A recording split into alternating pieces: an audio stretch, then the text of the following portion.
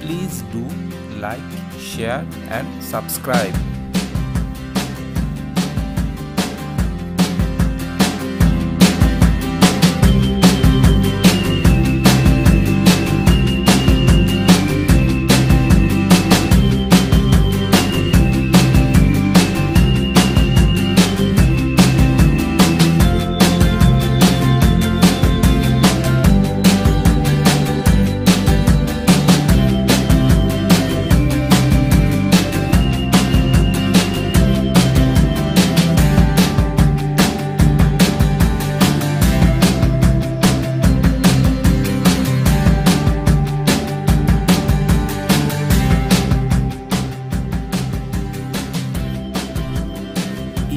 Like this channel,